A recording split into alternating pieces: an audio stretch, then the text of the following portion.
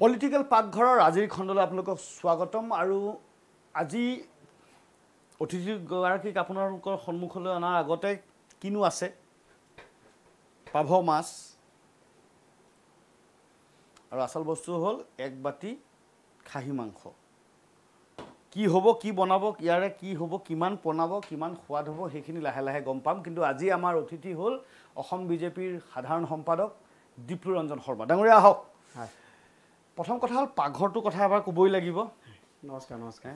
নমস্কাৰ। নমস্কাৰ। খুব কম মানুহে হয়তো পাকঘৰত আপোনাক দেখিছে দেখিছেনে? মানে অলপ এইখিনিলৈ আহক। মানে মোক চবেই কয় যে খাই মই খুব ভাল পাওঁ। খাই ভাল পোৱা মানুহে বনায়ো ভাল পায় কিন্তু। কিন্তু সেইটো মোক এটা অলপ ব্যতিক্ৰম। মই খুব ভাল টেষ্টাৰ বুলি মই নিজকে ভাবোঁ। আচ্ছা। আমাৰ ঘৰত যেতিয়া ফেমিলি সেইটো আপুনি সুবিধাবাদী তেতিয়া। অসুবিধাবাদী মানে এইটো চবেই আপুনি যদি বোলে টেষ্ট কৰি ভাল পায় খাই ভাল পায় বনাই ভাল নাপায় তেতিয়াহ'লে বনাই সুবিধাবাদী। ভাল নাপাওঁ। সেইটো ক্ষেত্ৰত মানে মই নিজেও স্বীকাৰ কৰোঁ।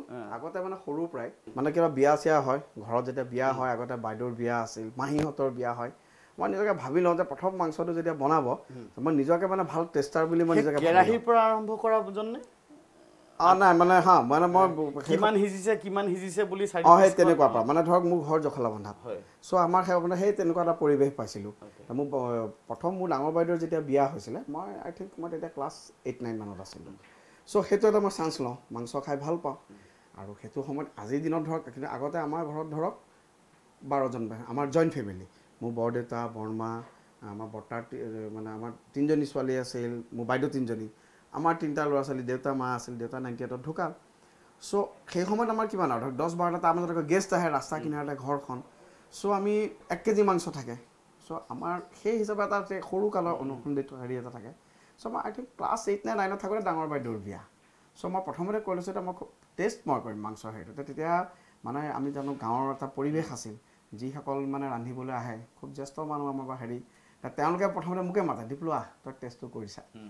সেইটো এটা ট্ৰেণ্ড থাকি গ'ল। মই নিজকে ভাল বুলি ভাবোঁ এতিয়াও এতিয়া- মানে যেতিয়া ঘৰৰ বা ফেমিলিৰ বিয়া হয় মই আৰম্ভণিতে কিন্তু হেৰিটোত সোমাই পেলাই অন্ততঃ টেষ্টটো মাংস টেষ্টটো মই ফাৰ্ষ্ট কৰিম ৰঞ্জন শৰ্মাই ভাল বুলি ক'লেহে ভাল ঠিক সেইটো নহয়। কিন্তু মই ভাবোঁ I am a very good taster you are very good taster কিন্তু কথাটো হ'ল যে পলিটিক্সতো এতিয়ালৈকে আপুনি টেষ্টাৰে হৈ আছে নে উপভোগ কৰিব পাৰিছে? নাই আমাৰ কাৰণে পলিটিক্সটো এটা ছাৰ্ভিচ আৰু আমি মানে মই খুব মানে কথা পাতি। আপুনি পাতি। থাকক। মই গেছটো জ্বলাই দিয়ক কোনটো? এইটোতো জ্বলাব পাৰোঁ এইটোতো জ্বলাওক মই আছোঁ।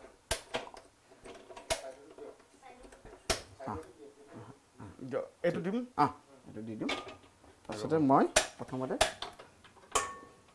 ছাইডত হয়। বছ এইটো আপুনি কওক। মই প্ৰথমতে মই মোৰ প্ৰশ্নটো আছিলে যে ৰাজনীতিটো আপুনি এতিয়ালৈকে অকল মানে টেষ্টেই কৰি আছে নে নাই ৰাজনীতি আমাৰ কাৰণে বিজেপি আমাৰ কাৰণে এটা ছাৰ্ভিচ বা এটা মিছন আৰু মই এই জন্মত মই বিজেপিৰ লগত ইনভলভ হ'বলৈ পাই পেলাই। চাওক বিজেপি এনেকুৱা এটা পাৰ্টি আমাৰ নিচিনা একদম হাম্বল বেকগ্ৰাউণ্ডৰ ল'ৰা এজন আহি। মই আজি এই বিজেপিতে মই প্ৰথমতে ষ্টেট জেনেৰেল ছেক্ৰেটেৰী হৈছোঁ ইউথৰ মই যেন ইউথৰ মোৰ কোনো তেনেকুৱা বংশ পৰিয়াল পলিটিক্সত নাই। মোৰ বংশ পৰিয়াল বুলি এনেকুৱা বহুত ভেৰি বিজেপিত সেইটো বস্তু চলে। মই ইউথৰ প্ৰেচিডেণ্ট দিছে মোক পাৰ্টীয়ে এই পাৰ্টীয়ে দিছে। মই তাৰপিছত পাৰ্টীৰ স্প'ক্স পাৰ্চন হৈছোঁ। পাৰ্টীৰ পেৰেণ্ট বডিৰ মই ছেক্ৰেটেৰী হৈছোঁ। আজিৰ দিনত জেনেৰেল ছেক্ৰেটেৰী হিচাপে কাম কৰি আছোঁ। গতিকে বিজেপিত প্ৰত্যেকটো সময় আমি উপভোগ কৰোঁ। আজি ধৰক আমাৰ মেম্বাৰশ্বিপ হৈ আছে। আজিৰ দিনত হয়তো আমি ফিফটি লাক্স মেম্বাৰশ্বিপ হেৰি কৰি যাম। মই তেলটো দি লওঁ নেকি? গৰম হৈছে যদি। এইটো গৰম হৈছে। তেল অকণ দিবই লাগিব। চ'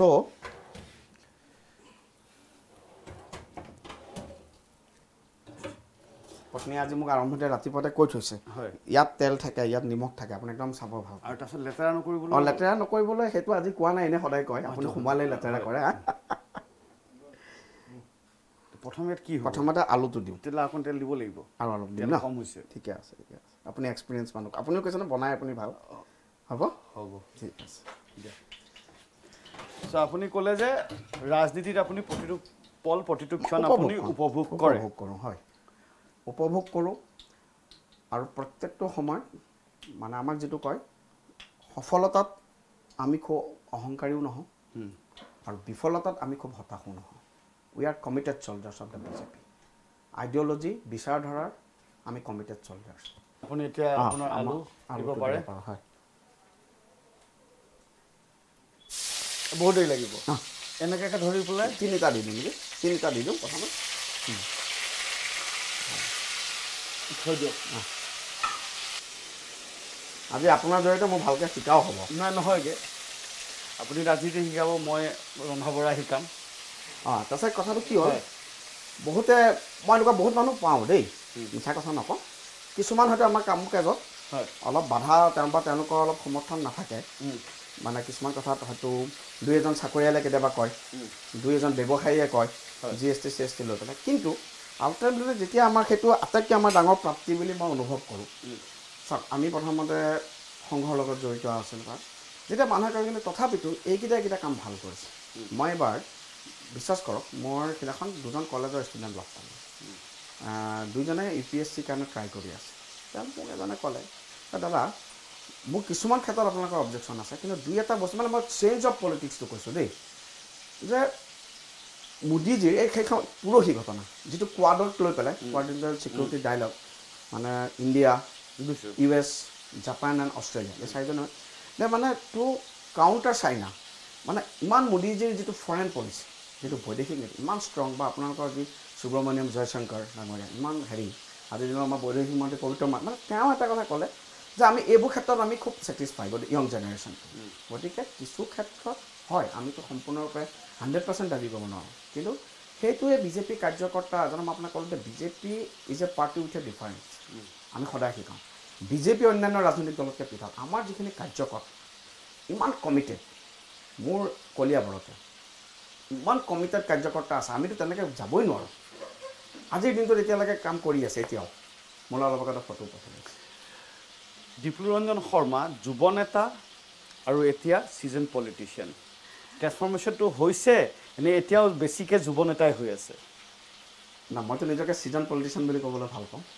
নিজৰ ৰাজনীতিৰ ডাইৰেকশ্যনটো মেনেজ কৰিবলৈ কিমান শিকিলে?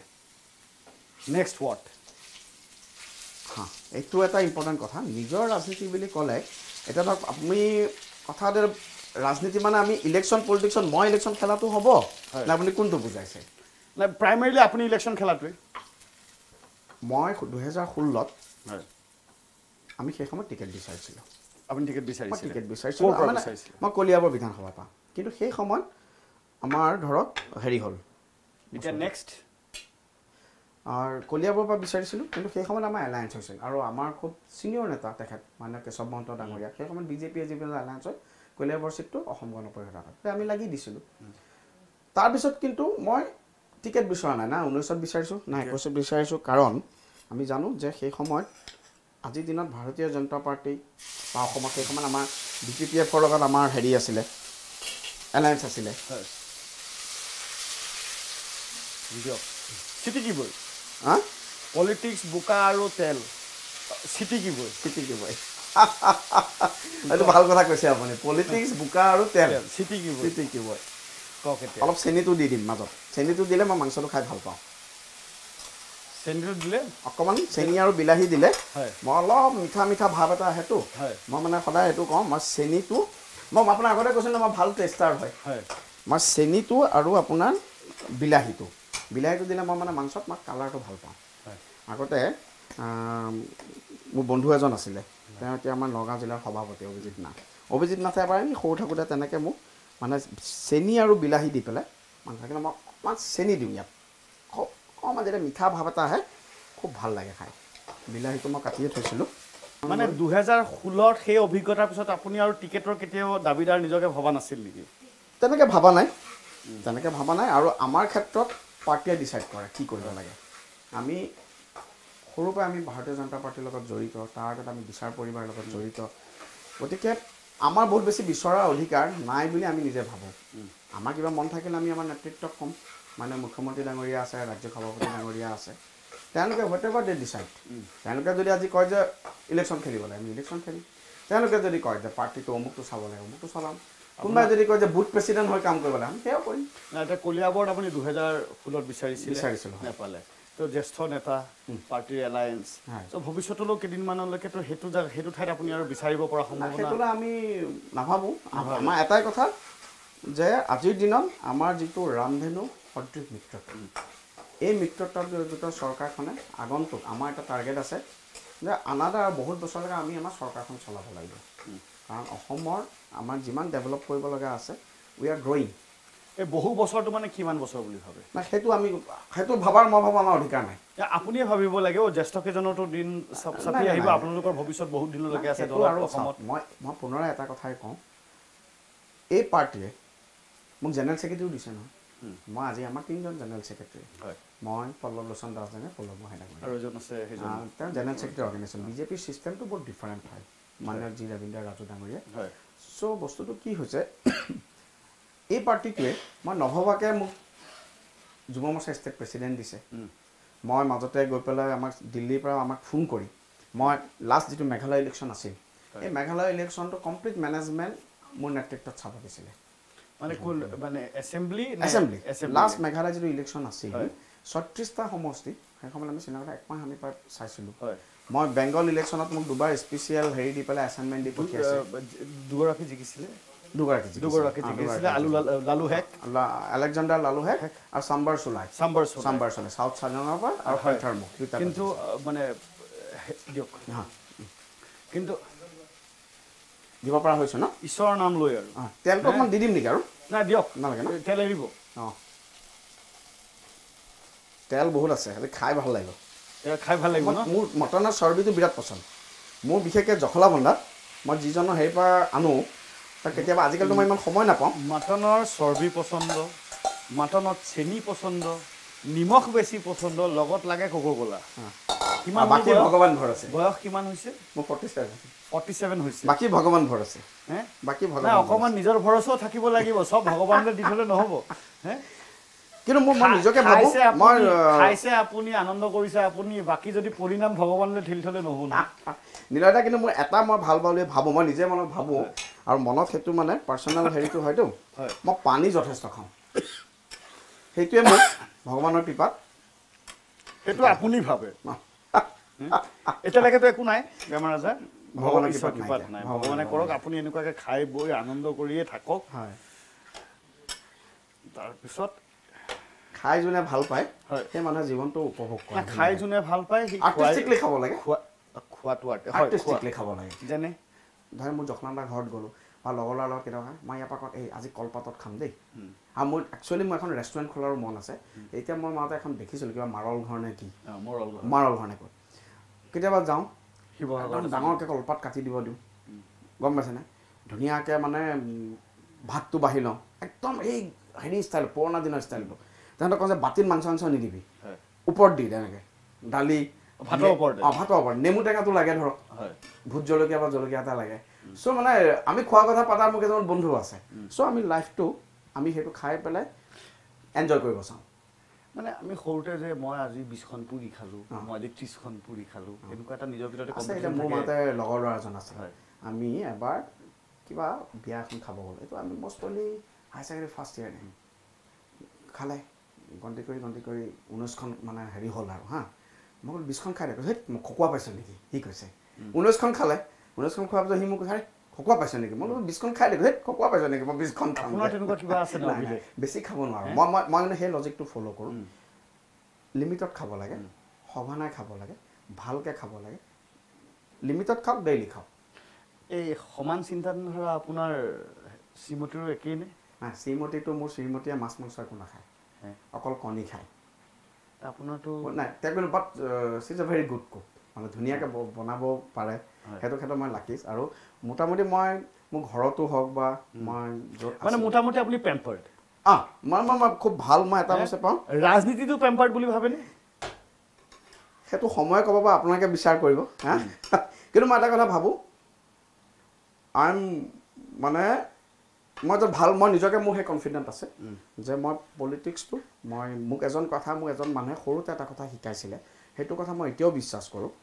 এই বস্তুটো মই ভাবোঁ যে আমাৰ দিনত আজি যিখিনি ইউথ আহিব নহয় হয়। তেওঁলোকে চাব লাগে আৰু যে মানে আমাক কয় যে এই পলিটিচিয়ান ইজ ওৱান মানে এই কথা মই সদায় ফ'ল' কৰোঁ যে এই politician is one who thinks about the next election after five years but a statesman is one who thinks about the next generation আমি সেই নেক্সট জেনেৰেশ্যনটোৰ কথা চিন্তা কৰি you think about the next election or the next generation definitely next generation definitely next generation মই এটা বস্তু আপুনি মানে ষ্টেটছমেন পলিটিচিয়ান য়েছ মই মই নিজকে ভাল পাওঁ যে মই এজন খুব ভাল আমি পলিটিচিয়ান হ'ব লাগে। মোৰ জীৱনত কেইজনমান আদৰ্শ ব্যক্তি আছে।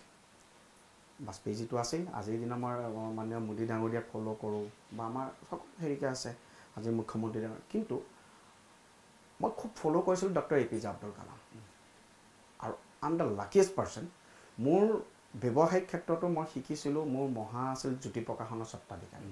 চ' মই ভাবোঁ যে মোৰ সেইটো সময় খুব ৰিচ নিজে মই ভাবোঁ। মই তাত বহুতখিনি কথা শিকিছিলোঁ। কিতাপৰ ব্যৱসায়টোৰ লগত থাকোঁতে মই মই মই বহুতখিনি মানুহক লগ পাইছিলোঁ। হোমেন বৰগোহাঁই ছাৰক পাইছিলোঁ। এনেকৈ সকলোকে লগ পাইছিলোঁ লক্ষ্মীনন্দন বৰা ছাৰ। আহ, সেই সময়ত doctor A P J Abdul কালামৰ যিখন উইংছ অফ ফায়াৰ কিতাপখন আছিল সেই কিতাপখন মই ফাৰ্ষ্ট পঢ়াৰ পিছত মই একদম অনেষ্টলি কওঁ আমি অসমীয়া বেকগ্ৰাউণ্ডৰ পৰা অহা অসমীয়া মিডিয়ামৰ পৰা অহা পঢ়াৰ পিছত মই অনুভৱ কৰিছিলোঁ যে মই অনলি ফৰ্টি পাৰ্চেণ্টে বুজি পাইছোঁ। অ'কে তেতিয়া মই মোৰ মহা নগেন শৰ্মা ডাঙৰীয়া আহ, জ্যোতি প্ৰকাশনৰ স্বত্বাধিকাৰী বা হেৰি আৰু সেই সময়ত আমাৰ আছিল মাননীয় সুৰেশ শৰ্মা ডাঙৰীয়া। আপুনি জানে খুব ভাল ট্ৰেঞ্চলেটৰ তেওঁ সাহিত্য একাডেমি এৱাৰ্ডো পাইছে। এতিয়া সুৰেশ খুৰাক কৈছিলোঁ যে দাদা খুৰা এইখন পাৰিলে আমি অসমীয়ালৈ অনুবাদ কৰিব লাগে। দুইজনে পঢ়ি চাবলৈ ভাল এইখনতো সাংঘাতিক কিতাপ এইটো প্ৰায় দুহেজাৰ এক দুই চনৰ ঘটনা। তেতিয়া এই উইংছ অফ ফায়াৰখন অগ্নিৰ দেউকা নামে জ্যোতি প্ৰকাশনে আৰু সুৰেশ শৰ্মা ডাঙৰীয়াই অনুবাদ কৰিছিল জ্যোতি প্ৰকাশনে প্ৰকাশ কৰিছিল। আৰু মোৰ ভাগ্য ভাল আছিল আমি যেতিয়া সেই সময়ত মানে কালাম ডাঙৰীয়া প্ৰেচিডেণ্ট আমি কালাম ডাঙৰীয়া সেই কিতাপখনৰ কপি লৈ গৈ পেলাই লগ ধৰিছিলোঁ। দুহেজাৰ চাৰি চনৰ ঊনৈছ জুলাই। মই মৰালৈকে মই কাইলৈ যিমানে ডাঙৰ পলিটিচিয়ান নহওঁ যিমানে ডাঙৰ হেৰি নহওঁগৈ কিয় দুহেজাৰ চাৰি চনৰ ঊনৈছ জুলাইৰ দিনটো মোৰ জীৱনত এটা স্মৰণ দিন হৈ থাকিব কাৰণ এক ঘণ্টা সময় মাননীয় কালাম ডাঙৰীয়াৰ লগত ৰাষ্ট্ৰপতি ভৱনত আমি বহি পেলাই বিভিন্ন কথা পাতিছিলোঁ। অসমৰ ৰাজনীতি এতিয়া এনেকুৱা পৰা আমি কি কৰিব লাগে য়ং পলিটিচিয়ান য়ং মানে আমি এজন ল'ৰা হিচাপে কি কৰিব লাগে? আৰু তেওঁ এটা কথা দাদা মই সদায় ভাবোঁ আজিৰ দিনতো মই কওঁ আপোনাৰ এই অনুষ্ঠানৰ মাধ্যমেৰে কওঁ দুটা বস্তু তেওঁ সদায় কয় যে তেওঁ যেতিয়া কলেজ চলেজত গৈ পেলাই আগতে ষ্টুডেণ্টৰ লগত ইণ্টাৰেকশ্যন কৰে তেতিয়া ষ্টুডেণ্টখিনিক তেওঁ সোধে যে তোমালোকে এইম ইন লাইফ কি? কোনোবাই কয় মই ইঞ্জিনিয়াৰ হ'ম। কোনোবাই কয় মই ডাক্তৰ হ'ম কোনোবাই কয় মই প্ৰফেচাৰ হ'ম তেওঁ সদায় কয় খুব ভাল কথা চব হ'ব লাগে। কিন্তু কোনেও নকয় যে এজন মই ভাল পলিটিচিয়ান হ'ম। এই কথাষাৰে মোক সেই সময়ত বহুত মনত ৰেখাপাত কৰিছে। পলিটিক্সত যদি ভাল আমি নাথাকোঁ পলিটিক্সত পলিচি বনোৱা হয় পলিচি ইমপ্লিমেণ্ট কৰা হয় দেশৰ ইকনমিক পলিচি দেশৰ ফৰেইন পলিচি ছিকিউৰিটি পলিচি কোনে? পলিটিক্সত আই এছ অফিচাৰ গতিকে ভাল পলিটিচিয়ান মই ভাবোঁ সমাজৰ সম্পদ। দীপৰঞ্জন শৰ্মা কিমান ভাল পলিটিচিয়ান হয় বা হ'ব সেইটো বাৰু কথা পাতিমেই। এই যে কেৰাহীত উতলি আছে মাংস সেই মাংস কোন দিশে যাব? আৰু দীপৰঞ্জন শৰ্মা ৰাজনীতি কোন দিশে যাব? সেয়াৰো চৰ্চা হ'ব। এটা চমু বিৰতি লৈছোঁ আপোনালোকে কলো কলো কৈছোঁ। পলিটিকেল পাকঘৰ আৰু আমি আছোঁ অসম বিজেপিৰ সাধাৰণ সম্পাদক দীপৰঞ্জন শৰ্মাৰ সৈতে। আৰে ভাই এনেই নাম্বাৰ ওৱান কণ্ট্ৰেক্টৰ হৈছো নেকি? সৰুকালৰ পৰাই ব্যৱসায় কৰি আছো সৰ্বোত্তম টি এম টি এইটো মাইথান ষ্টীল নহয়। সস্তা হয় বছ।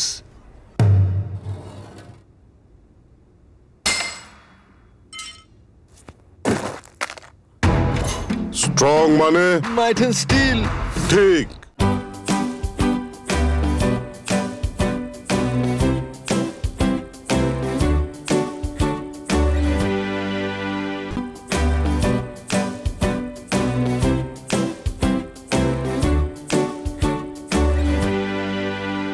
বিৰতিৰ পিছত স্বাগতম দৰ্শক। আপোনালোকে চাই আছে পলিটিকেল পাকঘৰ। আমি আছোঁ বিজেপিৰ অসম বিজেপিৰ সাধাৰণ সম্পাদক দীপৰঞ্জন শৰ্মাৰ ঘৰত পাকঘৰত খুব কমেই সোমাই বোলে খাই ভাল পায় বনাই ইমান ভাল নাপায়। আমাৰ সেই মাংস তৈয়াৰ হৈ আছে প্ৰেছাৰ কুকাৰত বন্ধ হৈ আছে। খুলিলে গম পাম কেনেকুৱা হৈছে ভাল হ'ব বুলি বিশ্বাস। বিশ্বাস। এতিয়া পাভ মাছ। পাভ মাছ। হা? পাভ মাছ ইয়াৰো খোৱাৰ কিবা কিটিপ আছে নেকি আগতে মানে আমি মই আগতে কৈছোঁ কলিয়াবৰৰ বাসিন্দা। কলিয়াবৰ বৰ ভোগী জেগা। এপিনে আপোনাৰ কুঠৰি মাছ আহে কাজিৰঙাৰ মাছ আহে এইকেইটা পাভটো আমাৰ চাব গ'লে পচন্দ নহয়। এইটো মানে সৰু থাকোঁতে আমি যিটো এনেকুৱা এনেকুৱা ডাঙৰ পাভ মাছ আৰু কুঠৰি ছাইডৰ পাভ মাছৰ বহুত নাম আছে। মানে সেই বাচি মেলি সৰুকেইটা এৰি দিয়াটো। অঁ সেইটোৱে আৰু। মানে পাভ মাছৰ আমাৰ চইচ থাকে। আমি আকৌ খাই ভাল পাইছিলোঁ ঘৰত পাভ মাছৰ আলু আৰু বিলাহী দি পেলাই টেঙা। আলু আৰু বিলাহী দি পেলাই টেঙা। আৰু কেতিয়াবা চৰচৰিটো বনায় কিন্তু আমাৰ জেনেৰেলি আমাৰ অসমীয়া মানুহৰ ঘৰত পাভ মাছৰটো আমি আলু বিলাহী টেঙাটোৱে বেছি বনাইছিলোঁ। আৰু কেতিয়াবা ফ্ৰাইটো খাওঁ? দালিৰ লগত। এতিয়া আমি ফ্ৰাইটোৱে আমি প্ৰথমতে কৰি লওঁ। তাৰপিছত দালিৰ লগত। এটা বস্তু মই মানিলোঁ আপুনি খোৱা বোৱাত কিন্তু খাই ভাল পায় বনোৱাত কিন্তু একেবাৰে সহজ বুদ্ধিটোৱে লৈ থাকে। আৰম্ভ কৰক। ঠিকে আছে অকণ তেলটো দি লওঁ। তেলৰ পৰিমাণটো আপুনি অকণমান চাই দিব। আপুনি অকণ তেল বেছিকৈ দিয়ক কাৰণ মাছ ভাজিব। তেল দিয়া হ'ল কেৰাহীত। এতিয়া অলপ গৰম হৈ লওক। গৰম হ'ব। তাৰপিছত আপোনাৰ। পাভ মাছ মাছটো দিম। এটা কথাটো হ'ল আপোনালোক যুৱ ৰাজনীতি কৰা মানুহ। যুৱ মৰ্চাত আপুনি সভাপতি আছিল। এতিয়া যুৱ মৰ্চাৰ ইনচাৰ্জ এতিয়া যুৱ মৰ্চাৰ? মই ষ্টেট ইনচাৰ্জ অ, ষ্টেট ইনচাৰ্জ। ষ্টেট ইনচাৰ্জ হয়। কথাটো হ'ল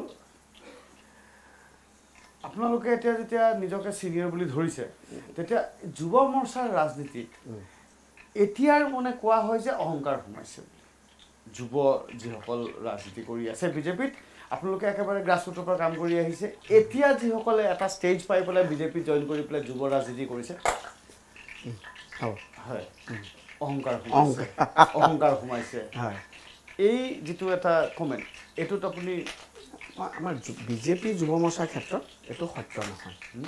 এনেকুৱা মানে ধৰি লওক বলেৰ' গাড়ীৰ সন্মুখত বিজেপিৰ ফ্লেগ সন্মুখত যি বিজেপিৰ আপোনাৰ এই ষ্টিংগাৰটো আৰু পিছফালে বিজেপিৰ ষ্টিকাৰ হ'লে বোলে টোল গেটত টোল নিদিলেও হয় য'লৈকে যায় ততকৈ যাব পাৰি। তেনেকুৱা কিবা এটা ছিষ্টেম আছে নেকি? মানে মানে মই এই ক্ষেত্ৰত এটাই কওঁ মই মানে আমেৰিকাৰ ফৰেইন ছেক্ৰেটাৰী আছিল যে হেনৰি কিচিঞ্জাৰ তেওঁৰ এটা কথা মই বহুত দিন পঢ়িছিলোঁ। তেওঁ কৈছিল যে ninety percent politicians give other ten percent a bad reputation. Ninety percent politician give other ten percent a bad reputation. কিন্তু মই এইটো ক্ষেত্ৰত বিজেপিৰ ক্ষেত্ৰত এইটো ওলোটা বুলি কওঁ কিছু সংখ্যক থাকিব পাৰে। কিন্তু সামগ্ৰিকভাৱে আমাৰ বিজেপি যুৱ মৰ্চাৰ আজিৰ দিনতো আমাৰ ৰাজ্যিক সভাপতিকে আৰম্ভ কৰি আমাৰ যিসকল কাৰ্যকৰ্তা বিজেপি যুৱ মৰ্চা খুব সংস্কাৰিত কাৰ্যকৰ্তা। কেতিয়াবা ন ডাউট দুই এটা হেৰি ইনচিডেণ্ট হয় কিন্তু কিছুমান বস্তু এটা সময়ত হেৰি হৈছিল কিন্তু আজিলৈকে আমাৰ বিজেপি যুৱ মৰ্চাৰ ক্ষেত্ৰত এইটো নাই আৰু খুব প্ৰশিক্ষিত খুব অনুশাসিত আমাৰ এটা মৰ্চা বিজেপি যুৱ মৰ্চা। গতিকে we are proud of our যুৱ মৰ্চা। আজিৰ দিনতো আজি পাকঘৰত আপোনাৰ যেতিয়া এই অনুষ্ঠানটো চাব আপোনাৰ ঘৰত মা মাহী খুৰীয়ে আচৰিত হ'ব তেখেতসকল প্ৰাউড হ'ব নাই হ'ব আচৰিত হ'ব আৰু মোক জোকাব? বিশেষকৈ মোৰ লগতে মই কৈছোঁ মোৰ লগত যিকেইটা ভাইটি আছিল। সিহঁতে মোক মানে বাৰম্বাৰ চেষ্টা কৰিলে দাদা আপুনি বিয়াৰ লগত অন্ততঃ আমাক এদিন বনাই খুৱাওক। নহ'ল। এতিয়া মানে আজি যেতিয়া মোৰ কথাটো শুনি আছে আজি ডিপ্লুদাই বনাব সিহঁতৰ বিৰাট ফূৰ্তি। সিহঁত গোটেইকেইটা মেম্বাৰশ্বিপৰ কামত লাগি আছে। আমাৰ সেই সময়ত মোৰ লগত আছিল অভিজিত বৰা হীৰক বৰা পৰশত আছিল আমি চবে গোটেই জিতেনত আছিলে। চ' গোটেইখিনি আছিল। তো সিহঁত আজিৰ দিনত আটাইতকৈ বেছি ফূৰ্তি হয়তো মানসিক শান্তি পাব সিহঁতে। আজি চবেই কৈ আছে "এ দাদা ডিপ্লুদাই যি বনাব অলপ অলপ ৰাখি থ'ব দেই। টেষ্ট কৰিবলৈ হয় আপুনি ভাবেনে বিজে ৰাজনীতি কৰিব হ'লে ভাগ্যখন কিমান দৰকাৰ? লাগে? কপালত ৰাজযোগ লাগে। কপালত? কপালত ৰাজযোগ? থাকিলে মই এইটো কওঁ। মানে ৰাজযোগ থাকিব লাগিব। ৰাজযোগ থাকিব ৰাজযোগ থাকিব লাগিব। ৰাজযোগ মাছটো দি পেলাই আহি যুগৰ কথা পাতিম। হয়, হয়, এতিয়া দিয়া ভাগটো আপোনাৰ দেই। লওক। অলপ দূৰৰ পৰা দিম লাহে লাহে দিম। কাৰণ পাভ মাছটো অকণমানতে ভাঙি যায় কেতিয়াবা। হয়। ধুনীয়া হৈছে। নেক্সট চাব আপোনাক আৰু পৰিব হ'ব দিয়ক দ্বিতীয়টো আহিব পাৰে।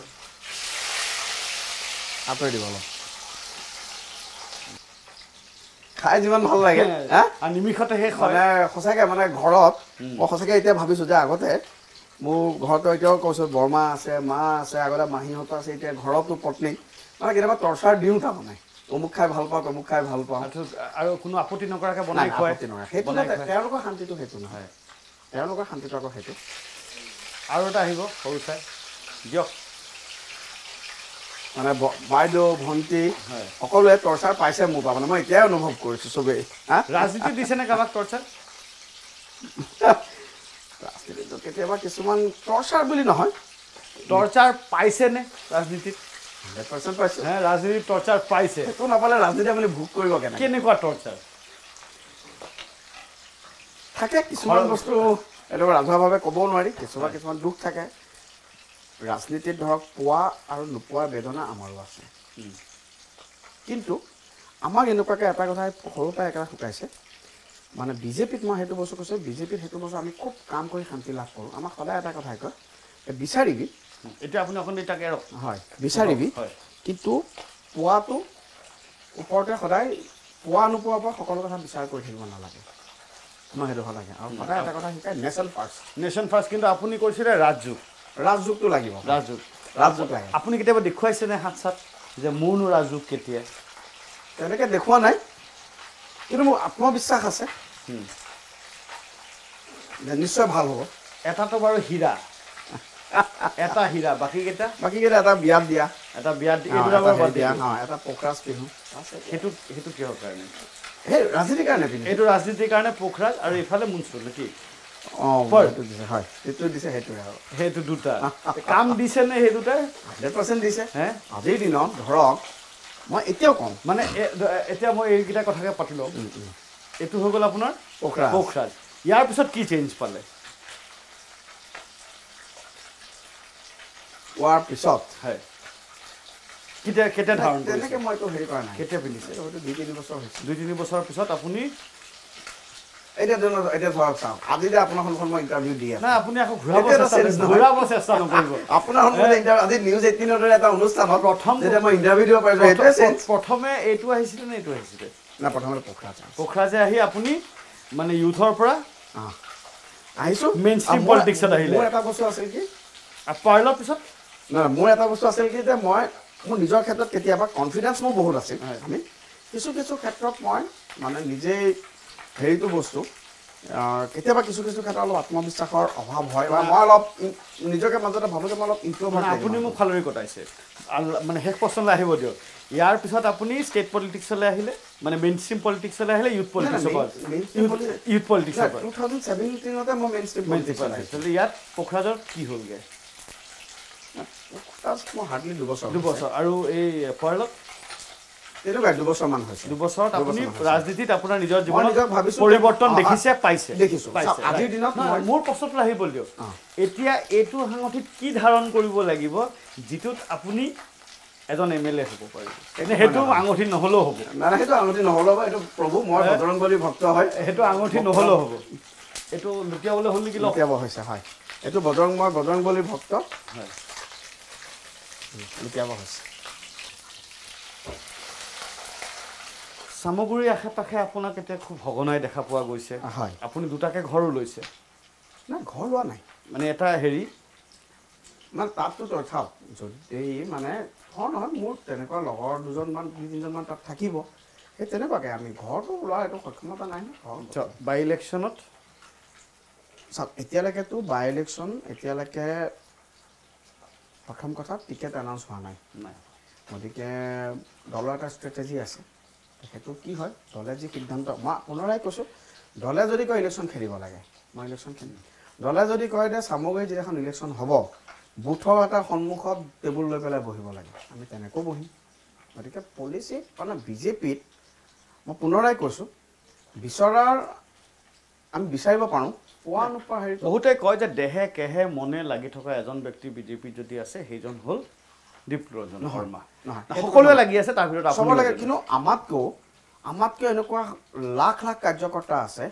যি মই মোৰ মানে মই নাম নকওঁ কাৰণ কেলৈ এনেকুৱা আমাৰ যোৱাবাৰ মোৰ মনত আছে আমি যেতিয়া মচপালি তেৰ তেৰ চনৰ পঞ্চায়ত নিৰ্বাচন আমাৰ কলিয়াবৰক জখলাবন্ধা পঞ্চায়তত যিজনে পঞ্চায়ত প্ৰেচিডেণ্ট খেলিছিল তেওঁৰ লগত ঘূৰিব মানুহ নাছিল। আমি ইয়াত ব্যস্ত থাকোঁ মই এদিনে গৈছোঁ তেওঁ নিজৰ মাকক লৈ পেলাই অকল পঞ্চায়ত হেৰি কৰি থাকে। আজিৰ দিনত ধৰক জখলাবন্ধা কলিয়াবৰ ধৰক আমি লাষ্ট চাৰিটা জিলা পৰিষদে আমি জিকিছোঁ নটা পঞ্চায়ত জিকিছোঁ। আৰু এইটো মই জাষ্ট কলিয়াবৰ উদাহৰণ কৈছোঁ এনেকুৱা বহুত মানুহ আছে। আমাৰ যেতিয়া মিটিং হয় কেইজনমান ব্যক্তি আছে তেওঁলোকে ৰাতি আহি যায় বিজেপি ফ্লেগ লগাবৰ কাৰণে। আমিতো দাদা আমিতো মইতো এইটো কৈছোঁ আমি বহুত পাইছোঁ বিজেপিত যিমান আমি কৰিছোঁ তাতকৈ আমি বহুত পাইছোঁ। পাৰ্টিত ধৰক এনেকুৱা বহুত আছে লাখ লাখ কাৰ্যকৰ্তা। আপুনি এনেকুৱা দেখিব। জীৱনটো সমৰ্পণ কৰি দিছে। তাৰপিছতে কিন্তু আমি কোনেও তেওঁলোকক নাজানো। যদি আপুনি ধৰি লওক ছাব্বিছত আপোনাক টিকেটটো দিয়া হ'ল হয়। যদি। হয়। সেইটো বাই ইলেকশ্যন ছাব্বিছত কি হ'ব তেতিয়া কাৰণ এতিয়া সমষ্টিটোৰ ছাব্বিছততো সমীকৰণ সলনি হ'ব। ছাব্বিছ বহুত দূৰ। আৰু মই আপোনাক এতিয়াও কৈছোঁ ছাব্বিছ বহুত দূৰ। চামগুৰি খুব এটা ঐতিহ্যমণ্ডিত সমষ্টি। মই যোৱাকালি কথা পাতি আছিলোঁ। চামগুৰিত দেৱকান্ত বৰুৱা ডাঙৰীয়াই প্ৰতিনিধিত্ব কৰিছিলে। হয়। আৰু খুব ঐতিহ্যমণ্ডিত এটা সমষ্টি আৰু চামগুৰি এটা এনেকুৱা সমষ্টি। মাছ হৈ গৈছেগৈ। হয়। চামগুৰি এটা এনেকুৱা সমষ্টি দাদা। নমাই দিয়েনে? অঁ নমাই দিব পাৰোঁ। এইকেইটা ভাজি লওঁ। এইকেইটা ভাজি লওক মই মই উঠাই দিছোঁ দিয়ক। লওক লওক। মোৰ প্ৰেক্টিছো হওক। হয়। এইটো হৈছেনে ষ্টাইলটো মই দেখোঁ এনেকৈ কৰাটো ঘৰত। পত্নীও গম পাওক। হা? হে? পত্নীও গম পাওঁ যে- যে আজি কিন্তু মোৰ যে এতিয়া পাৰে। প্ৰব্লেম এটা হ'ল আৰু। কি? মানে মাজে মাজে? এতিয়া ধৰক মাজে মাজে আপুনি কৰক তেনেকৈ কৰিব পাৰিছিল নহয়। অঁ। হা? ভালেই হ'ল দিয়কচোন কিবা এটা। এইটো মানে পত্নীয়ে মানে নিউজ এইটিনক বহুত থেংকছ দিব। আপুনি এনেই আগে পিছে পাকঘৰত সোমাই কেতিয়াও বনাই পাইছে খুব কম ৰেয়াৰ মই বনা মই মেগী বনাইছোঁ। কেতিয়াবা ধৰক ঘৰত হঠাৎ মেগী বনাব লগা হ'ল। মই মেগী বনা মই মেগী খুবেই ভাল বনাওঁ মোৰ নিজৰ ওপৰত কনফিডেঞ্চ আছে। তাৰপিছতে চাটনিটো মই বনাওঁ। মই জেনেৰেলি চাটনি খাই পেলাই খুব ভাল পাওঁ। লাগে মই আমি যিটো মান ধনিয়া বুলি কওঁ। মোৰ মান ধনিয়া চাটনিটো খুব ফেভাৰিট যেতিয়া মানে নিৰামিষ খাওঁ বিলাহী চাটনি মান ধনিয়া চাটনিটো মই জেনেৰেলি খাওঁ। আৰু অলপ ধুনীয়াকৈ মানে ধৰক মান ধনিয়া চাটনিটো অকণমান নহৰু দি দিওঁ অকণমান চেনি দি দিওঁ। আপুনি যেতিয়া খৰিচাটো মোৰ খুব ফেভাৰিট আপুনি এতিয়া ধৰি লওক পাৰ্টিৰ কামতে হওক যেতিয়া ক'বলৈ যায় দিনটো কাম কৰে। ৰাতি মানে ৰাইজে এনেকুৱা কে- বস্তু ব্যৱস্থাপনাৰ কাৰণে কৰি থ'ব লাগে। সেইটো আপুনি আগৰ পৰাই সুনিশ্চিত কৰে নে ৰাইজে এতিয়ালৈকে গম পোৱা হৈছে লাগে বুলি নহয় সেইটো মৰম। সেইটো মৰম? মৰম সেইটো মৰম। মানে ধৰক গৈছোঁ দাদা আজি মানে তেনেকুৱা বহুত কেইজন কেইবিধ মাছ থাকে? বেছি মই খাব নোৱাৰোঁ। বিধ। কেই পিচ সোধা নাই কেইবিধ মাছটো বেছি নাথাকে। মাংস বিধ মাছতে বেছিকৈ থাকে। মাছটো থাকে মাছটোও ভাল পাওঁ। মাছতকৈ মাংসটো বেছিকৈ থাকে জেনেৰেলি চামগুৰিত যদি টিকেটটো দিয়ে তেতিয়াহ'লে দু দুগৰাকী যুৱ নেতা হ'ব। হয়। আপুনিও হ'ব আৰু আপোনাৰ প্ৰতিদ্বন্দ্বীও যুৱ নেতা ৰাইজ কাৰ ফালে থাকিব বুলি ভৱিষ্যত বিজেপি দিনা থাকিব। আপুনি মই সেইটোৱে ক'ব বিচাৰিছিলোঁ আহ, কিন্তু যদি পল ডাইনেমিক্স চাই তেতিয়াহ'লে ডিফাৰেঞ্চটো প্ৰায় এইবাৰ লোকসভা ইলেকশ্যনত যিটো পুৰণা চামগুৰি যিটো ইলেকশ্যন এইবাৰো বাই ইলেকশ্যন পুৰণা চামগুৰিতে হ'ব। পুৰণা চাই নাই তাত আমি তিনি হাজাৰ চাৰিশ ভোটত পিছ পৰিছোঁ আৰু আটাইতকৈ ইণ্টাৰেষ্টিং ফেক্ট চবেই মানে মই কওঁ চামগুৰি এনেকুৱা এটা সমষ্টি য'ত ধৰ্মীয় সংখ্যালঘু ৰাইজে ভাৰতীয় জনতা পাৰ্টীক দুহেজাৰ চৈধ্য চনৰ আগৰ পৰাই ভোট দি আহিছে। দুহেজাৰ ষোল্লটো তেতিয়া জিতুদা মোটামুটি জিকিছিলে কিন্তু সেই সময়ত খুব ভয় আৰু ভাবুকিৰ এটা অলপ হেৰি হ'ল বা অলপ হেৰি হৈছিল। গতিকে জিতুদা মোটামুটি জিকিছিলে। এইবাৰ আমি মাত্ৰ তিনি হাজাৰ চাৰিশ ভোটত পিছ পৰিছোঁ। গতিকে খুব এক ঐতিহ্যমণ্ডিত আৰু ঐতিহাসিক চামগুৰি।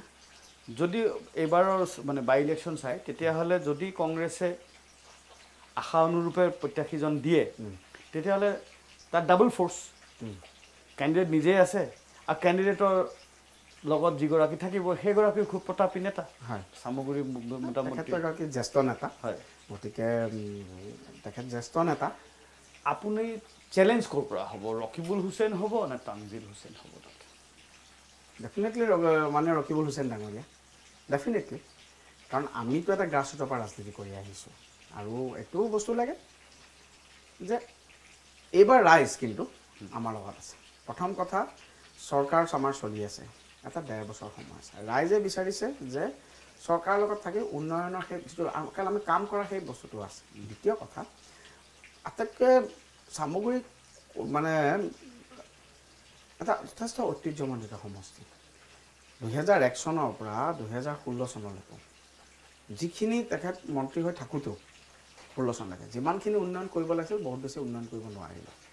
বহু জেগাত চিকিৎসাৰ সুবিধা নাছিল বহুত জেগাত ৰাস্তাৰ হেৰি নাছিল। কিন্তু তাৰ মাজতো এইবাৰ মই এটাই কৈছোঁ এই মাছটো আপোনাৰ মই বাৰু চাই দিছোঁ। হয়। কিবা চাটনি কথাও পাতিছিল। অঁ চাটনি কথা মই পাতিছিলোঁ। সেইটো কিবা এইটো অঁ মই এইটো আগতীয়াকৈ মই ইয়াত আদা নহৰু শুকান জলকীয়া থৈ দিছোঁ।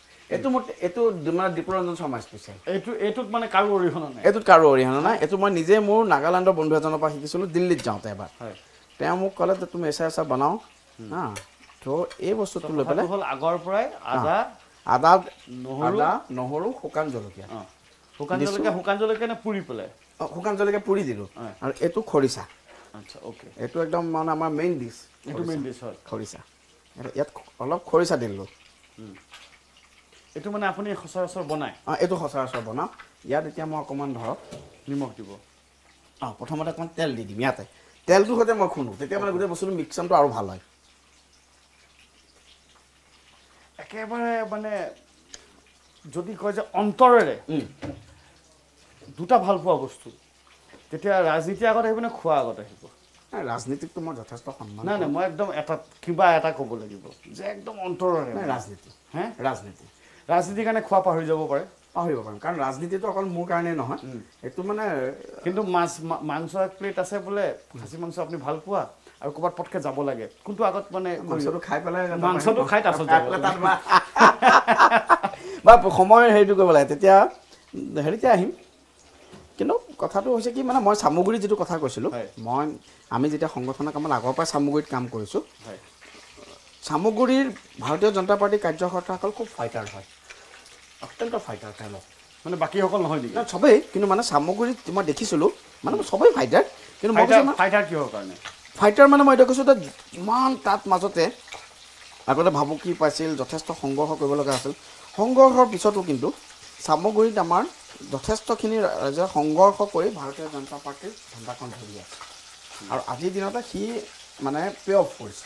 আমি ৰিজাল্ট পাইছোঁ সেইটোক লৈ পেলাই। মই সেইটোৱে কৈছোঁ ফাইটাৰ মানে মই সেই এটা সামগ্ৰিক অৰ্থত কৈছোঁ যথেষ্ট সংঘৰ্ষৰ মাধ্যমৰে চামগুৰিৰ যেতিয়া ভাৰতীয় জনতা পাৰ্টীৰ কাৰ্যকৰ্তাসকলে চামগুৰিত ভাৰতীয় জনতা পাৰ্টীক একদম এটা উত্তৰণৰ শীৰ্ষবিন্দুত আনিছে। আৰু এবাৰ আমি আশা কৰিছোঁ যে ভাৰতীয় জনতা পাৰ্টী অসম গণ পৰিষদৰ মিত্ৰজোঁটৰ যিজন প্ৰাৰ্থী হ'ব আমি ভাৰতীয় জনতা পাৰ্টী অসম গণ পৰিষদৰ যিখন মিত্ৰজোঁট হ'ব আমি তাত খুব এবাৰ কনভিনচিংলি আমি জিকিম। কেইবাটাও ফেক্টৰ আমাৰ ওচৰত আছে। দুটামান ফেক্টৰ মই আপোনাক ক'লোঁ দুটামান ফেক্টৰ মই নকওঁ? কাৰণ ষ্ট্ৰেটেজিকেলি কথা আছে চব কথা আমি ক'ব নালাগে। গম পাই যাব। কিন্তু আজিৰ দিনত আমি এডভান্টেজ অৱস্থাত আছোঁ চামগুৰিত দলত থাকি দলৰ সাধাৰণ সম্পাদক হৈ মেনেজ কৰিবলৈ আটাইতকৈ কঠিন বস্তুটো কি? লিডাৰ্ছৰ ট'ৰ প্ৰগ্ৰেমবোৰ আমাৰ বিজেপিত খুব প্ৰফেচনেলি মেনেজ কৰিব লাগে। বিশেষকৈ যেতিয়া আমাৰ মাননীয় নেশ্যনেল প্ৰেচিডেণ্ট ডাঙৰীয়া হেমন্ত ডাঙৰীয়া সেইবোৰ অলপ মেনেজ কৰিবলৈ টান হয়। কেতিয়াবা আপোনাক মই সেইটোৱে ক'লোঁ যে বিভিন্ন কাৰ্যকৰ্তাৰ সময় বা বিভিন্ন জিলাত কিছুমান কিছুমান প্ৰব্লেম থাকে। গতিকে তেনেকুৱা দুই এটা আমি অলপ কেতিয়াবা আমাৰ সন্মুখতো চেলেঞ্জ আহে। কিন্তু সেইখিনি আমি যেতিয়া নেতৃত্বৰ লগত আলোচনা কৰোঁ নেতৃত্বৰ লগত আৰু মই জেনেৰেল ছেক্ৰেটেৰী মই হেডকোৱাৰ্টাৰ ইনচাৰ্জ মানে আমাৰ মই জেনেৰেল ছেক্ৰেটেৰী হেডকোৱাৰ্টাৰ ইনচাৰ্জ গতিকে সেই হিচাপে বিভিন্নজনৰ সময়ত বিভিন্ন সময়ত কণ্টেক্টছত থাকিব লাগে। ৰাতি বাৰটা বজালৈ কেতিয়াবা ফোনটো আহে আমি ফোনটো ধৰিব লাগে। বিকজ আমি যেতিয়া ৰাজহুৱা জীৱনত থাকোঁ আমি এইটো কথা শিকোঁ যে ৰাজহুৱা জীৱনত থকাৰ লগে লগে মোৰ লাইফটো অকল ব্যক্তিগত হৈ নাথাকে। মই ৰাজহুৱাভাৱে সেই দায়িত্বটো পালন কৰোঁ। মন্ত্ৰী বিধায়কৰ কেতিয়াবা মানে কিবা ধৰি লওক কথাই হওক বা কিবা নিৰ্ণয় হওক সেইবোৰ মেনেজ কৰিবলৈ কেতিয়াবা অসুবিধা হয়। নাই সেইটোতো মাননীয় উম, মন্ত্ৰী বিধায়কৰ গোটেই ডিচিশ্যন চিচিশ্যন এইখিনিতো মাননীয় মুখ্যমন্ত্ৰী মহোদয়ৰ নেতৃত্বত হয়। গতিকে তেওঁলোকক গতিকে পাৰ্টীৰ যিবোৰ সংগঠন থাকে বা পাৰ্টীৰ বিভিন্ন ক্ষেত্ৰত থাকে কেতিয়াবা এনেকুৱা ধৰণৰ হয় যে ধৰক কিবা মণ্ডলৰ ক্ষেত্ৰত ডিচিশ্যন এটা জিলা কমিটিৰ ক্ষেত্ৰত ডিচিশ্যন এটা কেতিয়াবা যদি কিবা হেৰি হয়ো তেতিয়া সেইটো আহি পেলাই মাননীয় সভাপতি মহোদয়ৰ মাৰ্গদৰ্শনত মাননীয় মুখ্যমন্ত্ৰী মহোদয়ৰ মাৰ্গদৰ্শন লৈ পেলাই সেইটো এটা পাৰ্টীৰ ডাইৰেকশ্যনত সেইবোৰ বস্তু ছল্ভ কৰিব লাগে। কিন্তু বিজেপিত সেই ইনক্লুচিভ নেতৃত্বটো আজিৰ দিনতো মই আপোনাক কৈছোঁ যেতিয়া মন্ত্ৰী মহোদয়ৰ কোনোবা সমষ্টিটো বা বিধায়কৰ সমষ্টিটো পাৰ্টীৰ ক্ষেত্ৰত কিবা এটা ডিচিশ্যন ল'ব লগা হয় মণ্ডল সভাপতিজনক নুসুধাকৈ আমাৰ দলৰ হেৰিত কেতিয়াও ডিচিশ্যন নহয়। মাছটোতো আপোনাৰ অঁ লাগি গৈছে। এইটো অলপ ৰাজনীতি বস্তুটোৱে তেনেকুৱা। হয়। সেইটো লাগি গ'ল। ৰাজনীতি এইটো এইটো বন্ধ কৰি দিলে এইটো বন্ধ কৰি দিলোঁ। খাই কিমান ভাল হ'ব তেখেতে নিজে খায় ডিপ্লুৰঞ্জন শৰ্মাই নিজে খাই যিটো বস্তু ভাল পায় সেইটো বনাব পাৰিছেনে নাই সেয়াও আমি উমান ল'ম। এটা চমু বিৰতি ক'লৈকো নাযাব আপোনালোকে চাই আছে পলিটিকেল পাকঘৰ আৰু আমি আছোঁ বিজেপিৰ অসম বিজেপিৰ সাধাৰণ সম্পাদক ডিপ্লু ৰঞ্জন শৰ্মাৰ পাকঘৰত।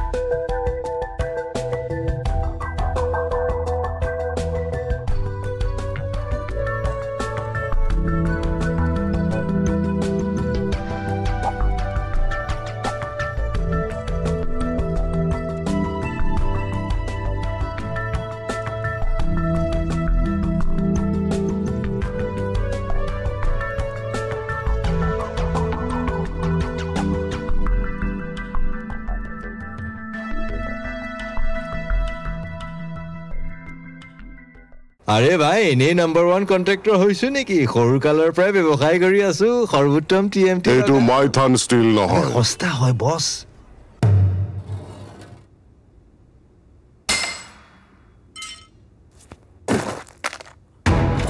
ষ্ট্ৰং মানে?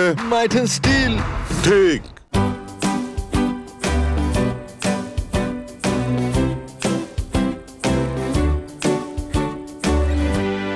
আছে আন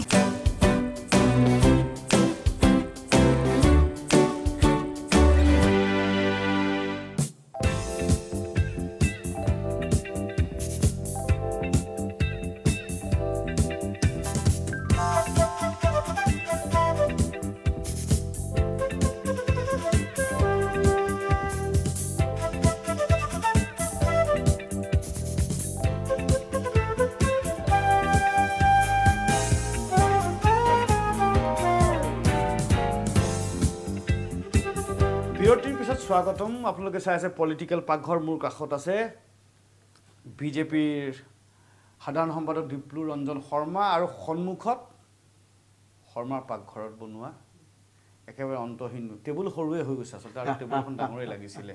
প্ৰথমৰ পৰা কৈ যাওঁ দালি পনীৰ প্ৰসিদ্ধ মাংস মাছৰ আঞ্জা কালিয়া এইটো বইল দালি। বইল দালি ফুলকবি আলু ভাজি পাভা মাছ ভাজি। কেইটামান ইয়াৰ পৰা বাদ দিব লাগিব চাই চিতি খাব লাগিব।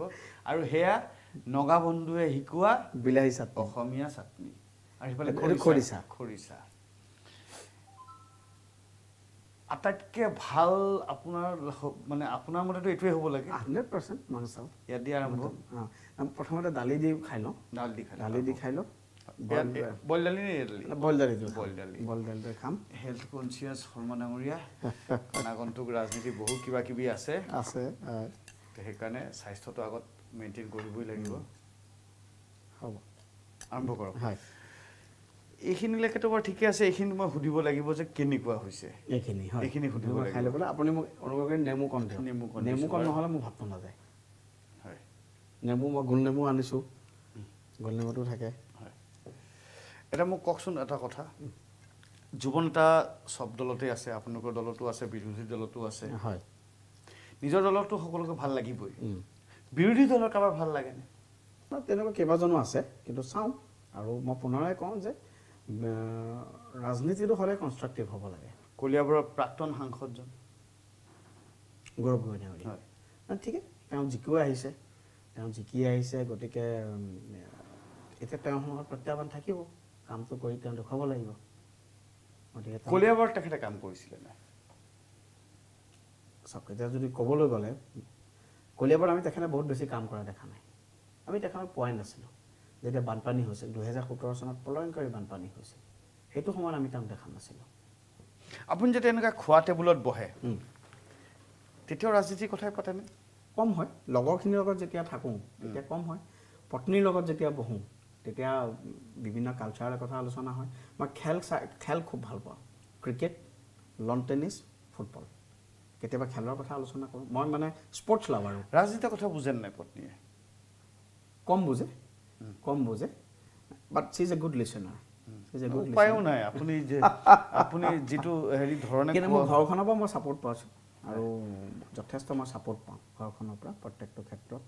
মোৰ ভণ্টি মোৰ ভাইটিহঁতেও মানে এতিয়ালৈকে ৰাজনীতিত কিবা ভুল কৰিছে বুলি ভাবেনে? যিটো ভাবে যে নকৰিলেও হ'ল হয় অনুতাপ কেতিয়াবা হয় মনে মনে বহিলে কেতিয়াবা ভাবোঁ মানে কেতিয়াবা হয়তো মই মোৰ বিৰোধী কওঁ কেতিয়াবা অলপ বেছি কঠোৰ ভাষাৰে বা অলপ মই কেতিয়াবা অনুভৱ কৰোঁ যে কেতিয়াবা চিপ ভাষাত কৈ দিওঁ। গতিকে সেইটো মই আজিৰ দিনত মই নাম নকওঁ মই দুজনমানক দেখি পেলাই শিকিছোঁ। সেই বস্তুটো মই কেতিয়াবা ভাবোঁ যে মই হয়তো এনেকৈ নক'লোঁ আজি মিডিয়াত হ'লহেঁতেন। মই সেই বস্তুটো অনুভৱ কৰোঁ কেতিয়াবা। কেতিয়াবা জানি বুজি কয়নে? কেতিয়াবা জানি বুজি কওঁ কেতিয়াবা উত্তেজিত হৈ কওঁ কাৰণ আমি ৰাজনীতিটো অন্তৰৰ পৰা কৰোঁ। আইডিঅ'লজিটো আমাৰ ইয়াত আছে। গতিকে যেতিয়া কোনোবাই আমাক হেৰি মানে বিজেপিক বেয়া বুলি ক'লে মানে বেয়া লাগি যায় নেকি? বেয়া লাগি যায়। এতিয়া কিছুমান বস্তু বেয়া লাগে। এতিয়া ধৰক ৰাহুল গান্ধী ডাঙৰীয়া মই পুনৰাই কৈছোঁ তেওঁ বিৰোধী দলৰ নেতা। কিন্তু যিদিনাখনে তেওঁ ভাৰতবৰ্ষত ধৰ্মীয় সহিষ্ণুতা নাই বুলি ক'লে গৈ পেলাই। যিদিনাখনে তেওঁৰ মিটিঙত ইণ্ডিয়া টুডেৰ সাংবাদিকজনক গতা মাৰি উলিয়াই দিলে তাৰ পিছতো মানুহে প্ৰটেষ্ট নাই কৰা। যিদিনাখন সেই মানুহজনে এই এই বস্তুবোৰত কিন্তু এটা একদম ভয়ানক খং এটা উঠি আহে। তুমি ভাৰতবৰ্ষত হেৰি কৈছা তুমি আপুনি যেতিয়া গৈ পেলাই ইলহান উমৰ ইলহান উমৰ একদম এণ্টি ইণ্ডিয়ান এম পি হয় আমেৰিকান চিনেটত ইলহান উমাৰহঁতে গোটেই এণ্টি ইণ্ডিয়া এটা প্ৰপাগাণ্ডা চলায়। ৰাহুল গান্ধী ডাঙৰীয়াই সাংসদ ভৱনত উদ্বোধনী এখন আহিব সময় এইটো খাই পেলাই কিন্তু এইটো সোৱাদ ল'বলৈ আছে। কিন্তু তেওঁ ৰাহুল গান্ধীৰ চৰ্চাত সকলো পহৰাই নাই নহয় এতিয়া খাম মাছৰ তেলটোৰ সৈতে। কিন্তু তেওঁ যেতিয়া পেলাই ইলহান উমৰ লগত বহি পেলাই খাই ভাল পায় বুলি মাংস আপুনি? মই তেলটো খাম মই দেখুৱাম এতিয়া আৰু আটাইতকৈ ভালদৰে নাৰিকলটো। নাৰিকল? নাৰিকল। এইটো চীনাৰ লগত থকা যিটো নাৰিকল কয়. নাৰিকলটো হয়তো ইয়াত আছে মই দেখুৱাম এবাৰ। এইটো মোৰ বহুত ফেভাৰিট আৰু এইটো মানে মই ৰাইজকো কওঁ যোনে ছাগলী মাংস খাই ভাল পায় তেওঁলোকে এই উঠিছিলে ৰখক। তেওঁলোকে এইটো এইটোক মানে নাৰিকল বুলি কয়। নাৰিকল নাৰিকল। থাকে কি? চেষ্টৰ লগত থাকে। চীনা বুলি কওঁ আমি। মোক মোৰ মহা এজনে শিকাইছিলে ছাগলী মাংস খাব সৰুতে শিকাইছিলে। ছাগলী মাংস খাব হ'লে চীনাটো খাব লাগে নাৰিকলটো। চ' এই নাৰিকলটো খাই পেলাই মই খুব ভাল পাওঁ। আৰু মানে মোৰ চিনা মোৰ বন্ধু দুজনমানো আছে যি মাংসৰ ব্যৱসায় কৰে। মানে যিকেইজনে কৰে আৰু বিশেষকৈ মানে আমাৰ কলিয়াবৰত মই গ'লে তেওঁলোকে মোৰ কাৰণে এক পিচ তেল এক পিচ হেৰি এক্সট্ৰাকৈ এটা কথা মই এইখিনিতে কৈ দিব বিচাৰিছোঁ যে মাংস কেনেকুৱা হৈছে কোনোবাই কৈছে যে নাই ৰংটো ভাল হোৱা নাই। তো এগৰাকীয়ে ইয়াত চাই কৈছে যে এই যে তেলটো। এই যে ভাহি উঠিছে এইটোৱে বোলে খাহী মাংসৰ বাহাদুৰি। বাহাদুৰি। হে? গতিকে মই ভাল বনাইছোঁ আজি। আপুনি মানে এইটো নিয়মতে হাণ্ড্ৰেড আপন হাণ্ড্ৰেড কেৱল মাত্ৰ দুখৰ বিষয়টো হ'ল যে এইটো খাই আপোনাৰ পত্নীয়ে ক'ব নোৱাৰে যে তেওঁ মাছ মাংস নাখায়। নেখায়। তেওঁ অকল কণী খায় আৰু কেতিয়াবা ছাগলী মাংস মই বেছি খোৱাৰ কাৰণে মোৰ লগত কাজিয়াও কৰে। আৰু মানে মাংস জোলত আলুটো ছাগলী মাংসৰ আলুটো সেইটো খাব লাগে। ছাগলী মাংসৰ আলু নাথাকিলে সেইটো মাংস মাংসই নহয়। মাংসই খোৱা নহয় তেতিয়া? আৰু কেতিয়াবাতো মাংস নহ'লেও আলুটো দিয়ে খাই উঠি যাব পাৰি। যদি মই নামানো মাংস পিচ লাগিব। মাংস পিচ লাগিবই। গতিকে মানে হেৰি এইটো মই বহুতক দেখিছোঁ এনেকৈ খাই খুব তেওঁলোকে ভাল পায় খাই হেৰি কৰে। আৰু আপোনাৰ নেচাৰেলিও খাই ভাল পাওঁ আৰু আজিৰ দিনত মোৰ এটাও ভাল লাগে। আজিৰ দিনত অসমত বহুত আপোনাৰ হেৰি আৰম্ভ হৈছে। এইটো এথেনিক ৰেষ্টুৰেণ্টবোৰ আৰম্ভ। মোৰ এখন মন আছে। আপুনি ভাল এখন এথেনিক ৰেষ্টুৰেণ্ট খোলাৰ। ক'ত খুলিব? মোক কলিয়াবৰ চাইডতে খোলাৰ মন আছে। মানে এখন ভাল এথেনিক ৰেষ্টুৰেণ্ট খোলাৰ নিজৰ নিজৰ ক্ৰিয়েটিভ লগাই। এই যেনেকৈ এনেকৈ ধৰক বিলাহী চাটনিটো বনাব। খৰিচা ধুনীয়াকৈ ৰাজনীতি এৰি তেনেকুৱা কামতে দেখি ৰাজনীতি নেৰোঁ? ৰাজনীতিটো মৰালৈকে থাকিব কাৰণ এইটো মোৰ ৰাজনীতিটো অকল মোৰ নিজৰ হেৰিৰ কাৰণে কৰা নাই। ৰাজনীতিটো মই বিশ্বাস কৰোঁ। ৰাজনীতিৰ মাধ্যমেৰে আমি সমাজৰ উন্নয়ন কৰিব পাৰোঁ। মই অথনি কালাম ডাঙৰীয়া যিটো কথা ক'লোঁ আৰু এটা কথা মই পাহৰিলোঁ মোৰ এতিয়াও মনত আছে কিন্তু মানুহজন চিনি নাপাওঁ প্ৰান্তিকত মই এটা ডক্টৰ মনমোহন দাস তেওঁ তেতিয়া আই আই টি ষ্টুডেণ্ট মই শুনাম তেওঁ এটা লিখিছিল। তেওঁক বোলে এদিন এখন স্কুলত গাঁৱৰ স্কুল আছিল। মাষ্টৰজনে চবকে সুধিলে তহঁত কি হবি তহঁত কি হবি? তেতিয়া চবেই সেইটোৱে কৈছে ডাক্তৰ হ'ম ইঞ্জিনিয়াৰ হ'ম। তেতিয়া ডাক্তৰজনে মাছ মানে শিক্ষকৰে তেতিয়া দিনৰ শিক্ষকসকল কিমান ভক্তি আহি আছে এতিয়াও হেৰি। শিক্ষকজনে বোলে ক'লে যে তহঁত কোনো ৰাজনীতিত যাব নিবিচাৰ নে? এগৰাকীয়ে ক'লে যে নাই ৰাজনীতি বেয়া বস্তু। ক'লে নাই ৰাজনীতিক বেয়া বুলি নক'বা। ৰাজনীতিক বেয়া বুলি এটা কাৰণে নক'বা এই ৰাজনীতিৰ পৰাইতো মানুহে দেশখন চলাব লাগিব দেশখন পৰিচালনা কৰিব লাগিব। বেয়া মানুহটো চব ক্ষেত্ৰতে আছে। মই কথাটো কৈছোঁ মই এই কথাটো পুনৰাই কওঁ আজিৰ দিনত আমি কেতিয়াবা পঢ়োঁ মন্দিৰত অমুকক প্ৰৱেশ কৰিব নিদিলে।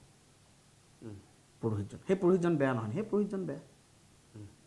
আনটাচেবিলিটিটো বেয়া আমাক বিজেপিত শিকাই অস্পৃশ্যতা আটাইতকৈ মহাপাপ।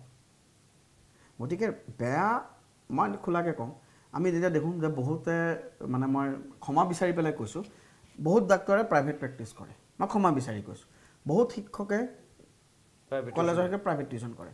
সেইখিনি জানো আনএথিকেল ৱৰ্কছ নহয়। আনএথিকেল ৱৰ্কছ পলিটিক্সত আছে। বাট এব আজিৰ দিনত আপোনালোকে চাওক বহুতে আমাৰ পুলিচক লৈ পেলাই এই নাই পুলিচ হ'ব নালাগে পুলিচ এনেকুৱা পুলিচ এনেকুৱা। কিন্তু আপুনি যেতিয়া কিবা এটা আমাৰ ঘৰত বিপদ পৰে এই পুলিচক মাৰচোন পুলিচ মাৰ পুলিচ আহক। গতিকে সমাজৰ মেইন অংগ এটাক বাদ দি আমি সমাজখন কেনেকৈ চলাম? ভাল পলিটিচিয়ান যদি নাহে আজিৰ দিনৰ য়ং জেনেৰেশ্যনৰ ল'ৰা ভাল পলিটিক্স পলিটিক্সত যদি কনষ্ট্ৰাক্টিভ পলিটিক্স কৰিবৰ কাৰণে নাহে তেওঁ আপুনি বেয়া মানুহৰ এৰি আছেনে ভালে সংখ্যক? হাণ্ড্ৰেড পাৰ্চেণ্ট আছে। হাণ্ড্ৰেড পাৰ্চেণ্ট আছে। নতুন নতুন স্কিম বনাইছে ভিজন দিছে। কিয় কাৰণে? খুব সুন্দৰ সুন্দৰ ভাল ভাল ৰাজনীতি আছে আমি দেখোঁ। কিমান কাম কৰিবৰ কাৰণে পৰিকল্পনা আছে তেওঁলোকৰ। ডেফিনেটলি আছে। মইতো বৰঞ্চ এইটোও কওঁ ভাল পলিটিচিয়ানৰ সংখ্যাই আটাইতকৈ বেছি। এটা লেভেলত আমাৰো দায়িত্ব আছে তেওঁলোকৰ ভাল কথাখিনি প্ৰচাৰ কৰা বেয়াখিনি কনষ্ট্ৰাক্টিভলি তেওঁলোকক আপোনালোকে দেখোন সিটো সিটো শিবিৰৰ মানুহ কোনো ভাল নেদেখেই নহয় ভাল নেদেখে নহয় আমি ভালখিনিও আমি ক'ম। মই আপোনাৰ কৈছোঁ বিজেপি এতিয়া চাওক মই আপোনাৰ ক'লো যে বাজপেয়ীজী যেতিয়া নিজৰখিনিতো ভাল হ'বই দিয়কচোন। নিজৰখিনি ভাল হ'ব কিন্তু। অঁ মই পুনৰাই কৈছোঁ আপুনি যেতিয়া ভাল ৰাজনীতিৰ কথা ক'লে বা ৰাজনীতিৰ কথা ক'লে সেইকাৰণে মই সুধিলোঁ যে আপোনালোকেতো সিটো ছাইডে ভাল নেদেখে। নহয় নহয় আমি পুনৰাই কওঁ ভাল নেদেখা বুলি নকওঁ আমি। ব্যক্তিগতভাৱে। কৰে কিন্তু আমাৰ আমাৰ তাক মেইন বেটেল ইজ ডেট তেওঁলোকৰ পলিচিটোৰ লগত আমাৰ সংঘাত আছে। তেওঁলোকৰ পলিচিটোৰ লগত আমাৰ সংঘাত আছে। আমি আজিৰ দিনত ধৰক বহুতখিনি ক্ষেত্ৰত এনেকুৱা কৰিছোঁ। মই পুনৰাই মই নহয়, কেনেকুৱা হৈছে? ভাল হৈছে মাংসকণ? খুব ধুনীয়া। নিজৰ মাংস নিজে লাইফত প্ৰথম খাইছে কিজানি? মাজতে বহুত দিন আগতে এবাৰ এনেকৈ বনাইছিলোঁ। মানে মোক চবেই হেল্প কৰি দিছিলে। মই নিমখ চিমখ দি পেলাই চাইছিলোঁ সেইদিনাখনো খাইছিলোঁ আৰু নিজে বনোৱাটো চাই মই নিজেতো ডেফিনেটলি ভাল পাওঁ। নিজেতো বাৰু বেয়া বুলি ক'ব নোৱাৰি। নোৱাৰি, তথাপিও এই মাংসটো ন? নাৰিকলটো খাই ভাল লাগে। এই কৰককৈ শব্দটো আহিব লাগে ন। কৰক কামটোতো আহিব লাগে। আৰু? মাছৰ টেঙাটো ভাল লাগে। আৰু অসমীয়াৰ যিটো কুইজিন অসমীয়া ৰেচিপিটো মানে নিজৰখনটো মই সদায় নিজৰটো অসমৰ ৰেচিপিৰ ওপৰত আমি কোনোবা কোনো ৰেচিপি নাপাওঁ। আজিতো একদম আমাৰ মানে থলুৱা ৰেচিপি মাটি দালি ঔটেঙা বিলাহী দিয়া টেঙা। কেতিয়াবা ক'লে লোভ লাগি যায়নে কেতিয়াবা বহুত। দিন যেতিয়া দিল্লীত সাত দিন আঠ দিন থাকোঁ তেতিয়া মই ঘৰলৈ আহিলে মই ফোন কৰোঁ আজি মাছৰ টেঙাটো খাম দেই। মানে মোৰ মতে লাইভলি হৈ থাকিব লাগে মানুহ। ধুনীয়াকৈ লাইভলি হৈ থাকিব লাগে মানুহৰ লগত ভালকৈ হাঁহি মাতি থাকিব লাগে খেলিব লাগে খেল চাব লাগে চিনেমা চাব লাগে। মোক এজনে শিকাইছিলে ফাকে মাজে মানে ৰাজনীতি ৰাজনীতিটো মেইন মোৰ কাৰণে। মোৰ কাৰণে ৰাজনীতিটো পেচন হয়। মই পুনৰাই কৈছোঁ নহয় মই সৰুৰ পৰা মই অলপ পঢ়িবলৈ চেষ্টা কৰিছিলোঁ চিৰিয়াছলি মানে একাডেমিক পঢ়াত মই বিৰাট বেয়া দেই। একাডেমিক পঢ়াটো কোনোমতে চুঁচৰি বাগৰি পাছ কৰোঁ।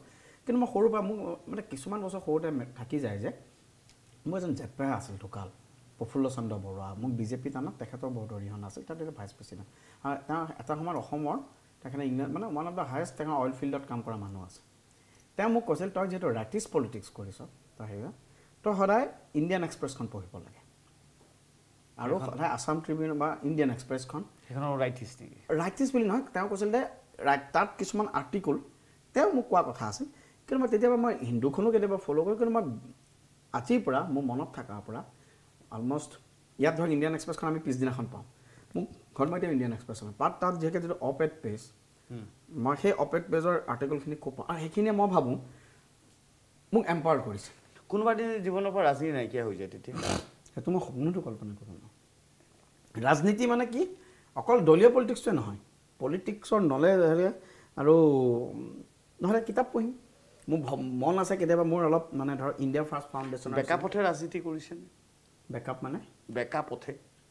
পোনপটীয়া ৰাজনীতি নকৰি বেকা পথে নিজৰ মানে উদ্দেশ্য সম্পন্ন কৰিবলৈ। নহয় নহয়। মই একদম প্ৰথম মই আমি যেতিয়া বিজেপি কৰিছিলোঁ আমি চৰকাৰ গঠন কৰিম বুলি ভবাই নাছিলোঁ নহয়। আমি আজিৰ দিনৰ বিজেপি নহয়। মানে সৰুৰ পৰাই আমি আদৰ্শত কৰিছোঁ মোৰ লাকি হেৰি যে মই আমি সংঘৰ দৰে এটা মহৎ সংগঠনৰ লগত জড়িত হৈ কাম শিকিব পাৰিছোঁ।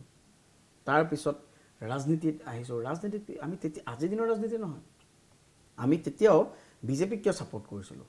নাইণ্টি ছিক্সত নাইণ্টি ফ'ৰত তেতিয়াই বিজেপিৰ ফৰেইন পলিচি চাইছিলোঁ। তেতিয়া আপুনি গম পাইছে কেনে দলটো ইমান আগবাঢ়িবগৈ বুলি? আমাৰ আশা আছে বিশ্বাস আছিল আগবাঢ়িব বুলি। আৰু যে আগবাঢ়িছে দেখিছোঁ আজি আমি এনেকুৱা এটা শক্তিত পৰিণত হৈছোঁ। পুনৰাই আমাক কৈছোঁ বাজপেয়ীয়ে যিটো কথা কয় মই খুব পচন্দ না জিত মে না হাৰ মে কিঞ্চিত নাহি ভয়ভীত মে। কৰ্তব্য পথ পৰ জ' মিলা এ ভি চাহি অ' ভি চাহি জ্যোতিষী জ্যোতিষীজনে কি কৈছিলে? ৰাজযোগ কেতিয়া আছে বুলি কৈছিলে? খুব শীঘ্ৰে খুব শীঘ্ৰে আহি আছে। খুব শীঘ্ৰে খুব শীঘ্ৰে আহি আছে। খুব শীঘ্ৰে ৰাজযোগ আহি আছে। বেছি সময় নলওঁ ধন্যবাদ এই অনুষ্ঠানৰ কাৰণে সময়কণ দিয়াৰ বাবে। দৰ্শক আপোনালোকো অনু- ধন্যবাদ। আপোনালোকে চাই আছিলে। আৰু এতিয়া সময় নাটনি অনুষ্ঠানটো ইয়াতে সামৰণি মাৰিছোঁ আৰু আমাৰ বহু কাম বাকী আছে। আপুনি গম পাইছেই নহয়। এইখিনি শেষ কৰিব লাগিব। গোটেইখিনি আৰু গোটেই ৰাতি দেখুৱাই থাকিব নোৱাৰোঁ। সেই গতিকে পলিটিকেল পাকঘৰ ইয়াতে সামৰণি মাৰিছোঁ। অনুষ্ঠান চাই থকাৰ বাবে ধন্যবাদ আৰু আপোনাকো বহুত আপোনাকো ধন্যবাদ। আপোনাকো মাজত আপোনাৰ এতিয়া বহুত এ- এটাতো সদস্যতাৰ দায়িত্ব আছে লগতে নিজৰ দায়িত্ব আছে, তাৰ মাজতে সময়কণ দিয়াৰ বাবে আৰু আগন্তুক ৰাজনৈতিক জীৱনৰ বাবে শুভেচ্ছা থাকিল আপোনালোকে। আশীৰ্বাদ কৰিব সকলোৱে আৰু আপোনালোকো বহুত বহুত ধন্যবাদ। নিউজ এইটিনক আপোনাক সকলোকে ধন্যবাদ। এটা সুন্দৰ এটা ৰেপুটেড চেনেল আমি নিজেও ফ'ল' কৰোঁ। অকণমান আগতে আমি কৈছোঁ যে খুব গৰ্জিয়াছ হেৰি। গতিকে আপোনাকো ধন্যবাদ। এনেকুৱা এটা মঞ্চ দিয়াৰ বাবে ধন্যবাদ। লগ পাম সকলোকে। থেংক ইউ আৰে ভাই এনেই নাম্বাৰ ওৱান কণ্ট্ৰেক্টৰ হৈছো নেকি? সৰুকালৰ পৰাই ব্যৱসায় কৰি আছো সৰ্বোত্তম টি এম টি এইটো মাইথান ষ্টীল নহয়। সস্তা হয় বছ।